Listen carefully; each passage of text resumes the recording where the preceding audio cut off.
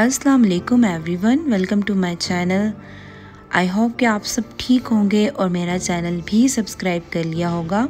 आज हम आपको शादियों पे बनने वाला पालक गोश्त बनाना सिखाएँगे कि ऐसी कौन सी चीज़ें वो लोग ऐड करते हैं जिससे कि वो पालक गोश्त, घर में बनने वाले पालक गोश्त से बहुत ही डिफरेंट और लजीज होता है। ये जानने के लिए हमारी कंप्लीट रेसिपी को देखें। वन के जी बीफ मैंने ले लिया है और उसमें दो टमाटर जो है वो मैंने चॉप करके डाल दिए हैं और दो प्याज मैंने यूज़ किए मीडियम साइज़ के और टू टीस्पून इसमें जो है वो अदरक लहसन का मैंने पेस्ट शामिल किया है और नमक और सुरख मिर्च आप अपने टेस्ट के हिसाब से डाल सकते हैं। रेड चिली पाउडर पालक में थोड़ा ज़्यादा यूज़ करने से पालक में इसका टेस्ट अच्छा आता है। और वन टीस्पून जो है, वो इसमें मैंने हल्दी पाउडर और वन टीस्पून ही इसमें मैंने साबुत काली मिर्चें डाल दी हैं। और वन टीस्पून इसमें मैंने जो है, वो सूखा धनिया और वन टीस्पून ही इसमें मैंने जो है, वो ज़ीरा डाल दिया है। और दो मैंने जो है, छोटी इलायची इसमें खुशबू के लिए डाली हैं और वन लीटर पानी इसमें मैं शामिल कर दूँगी। और ये देखिए जी, प्रेशर कुकर में तकरीबन आठ से नौ मिनट पकाने के बाद हमारा जो बीफ है, वो अच्छी तरह से टेंडर हो चुका है, सॉफ्ट हो चुका है। अब एक पैन लेंगे और उसमें तकरीबन हाफ़ कप ऑयल डाल देंगे। और इसमें तकरीबन वन के जी पालक जो कि मैंने बॉईल करके और उसको अच्छी तरह से बारीक कर लिया था, कूट लिया था, उसको ऑयल में मिक्स कर देंगे। और अब इसको जो है वो ऑयल के अंदर पका लेंगे अच्छी तरह से।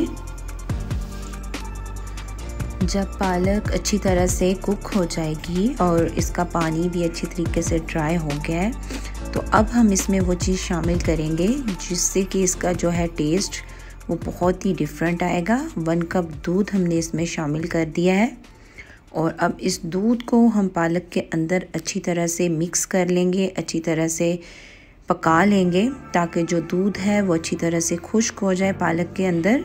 शादियों पे जो पालक गोश्त बनाया जाता है, उसमें ये पालक के अंदर दूध ही शामिल किया जाता है, जिसकी वजह से एक अलग और डिफरेंट फ्लेवर आता है पालक गोश्त में। और जो पालक है वो बहुत ही सॉफ्ट और जूसी हो जाती है। अब एक और पैन लेंगे और उसमें जो हमने गोश्त को अच्छी तरह से गला लिया था, पका लिया था, वो हम उस पैन में शिफ्ट कर देंगे। और आपको नज़र आ रहा होगा कि इसमें थोड़ा सा जो पानी है, इस पानी को भी अब हम जो है वो अच्छे तरीके से ड्राई कर लेंगे। और कुछ मसाले जो हैं, वो हम इधर इसमें शामिल करेंगे। वन टीस्पून इसमें जो है, वो मैंने खुश्क धनिए का पाउडर डाल दिया है। इसकी बहुत ही अच्छी खुशबू आएगी आपके खाने में। और पर्सनली मुझे ये बहुत पसंद है। और तीन चार जो है वो सब्ज़ मिर्चें मैंने इसमें डाल दी हैं। साबित सब्ज़ मिर्चें। अब इसमें तकरीबन मैंने वन टेबल स्पून जो है वो मक्खन शामिल कर दिया है। इसका बहुत ही अच्छा टेस्ट आएगा आपके पालक गोश्त में। अब इसको भी हम अच्छी तरह से मिक्स कर लेंगे। लाइक like दिस देखिए, पानी जो है, वो गोश्त के अंदर जो था, वो आहिस्ता आहिस्ता सारा ड्राई हो रहा है और जो गोश्त है, वो मज़ीद ही प्यारा लग रहा है, खुशबू आ रही है। इधर हम इसमें जो है, वो वन कप तकरीबन दही शामिल कर देंगे, जिससे जो है, गोश्त में बहुत ही अच्छा फ्लेवर और टेस्ट आएगा। दही को हम उस वक्त तक पकाएँगे, जबकि उसका पानी सेपरेट हो जाए।